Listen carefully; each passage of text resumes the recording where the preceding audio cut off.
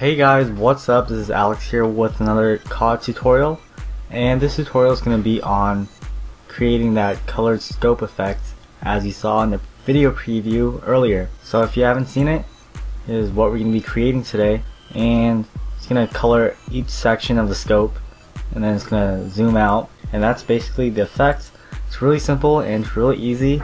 Alright, so you're going to have your clip and the first thing you want to do is right click on it and go to properties and disable the resample. Next, uh, since we're going to be syncing the blinking colors of the scope, you want to have a piece of sound effect or music on your timeline. So I'm just going to sync it to these four beats.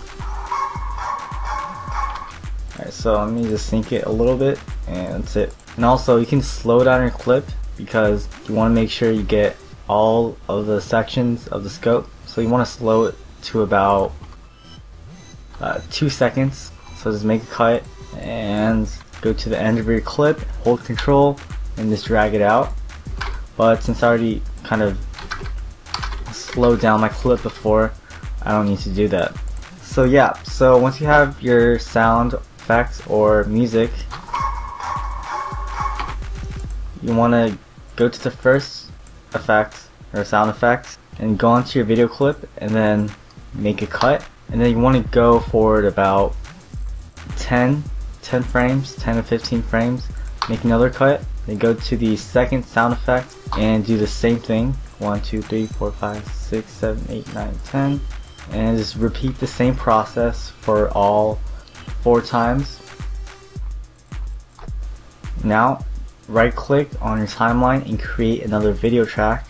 And we're just gonna click on the first cut we made and hold control and select the other four cuts.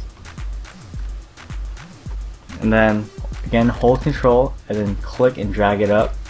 Those will duplicate the clips. And the next thing you want to do is go to the top left hand corner of your video clip hover your cursor over it a little icon should appear and you're going to drag it to the right and that's going to bring up the fade offset.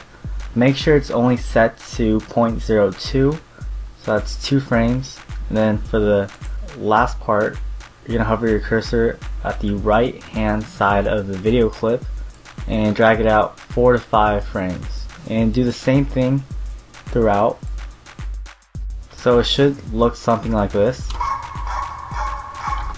Nothing's gonna happen because these clips are layered over each other. So make sure you don't move any of the top or bottom clips because they need to be in synchronization with each other.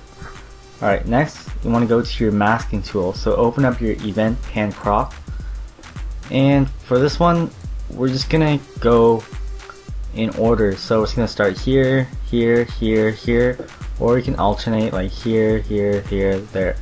So zoom in, select your mask tool, and you want to mask the starting point, go to the end of the circle, and then work your way until you get one fourth of the scope and connect it by clicking on the last or actually on the first point you made. And if you want to feather it make sure you don't feather it too much. So keep it below 1 or 1% alright and then for the second one do the same thing as well. To zoom in but this time we're going to be masking out this side because we did this side on the first mask.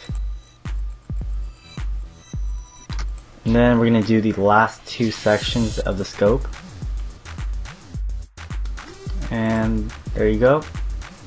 Now if you mute the first bottom video track you can see the individual sections that you masked out.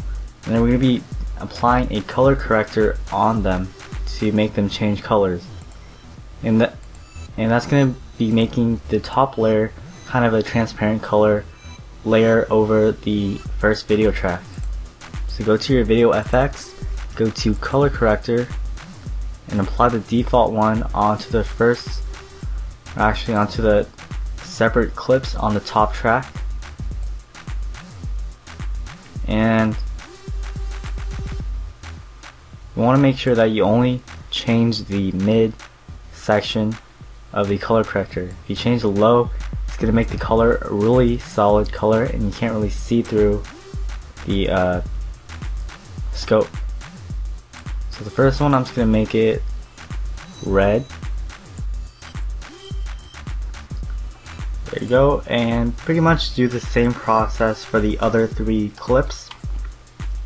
So make them all different colors. And if your color isn't dark enough, you can go down to saturation and then bring that up.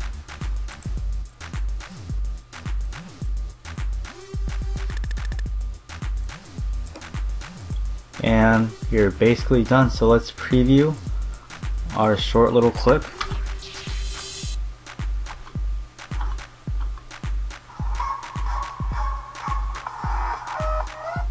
So that's how you do the colored scope effects. I hope you guys like this tutorial. If you want any more tutorials like this, please post your suggestions in the comments and I will see you guys next time.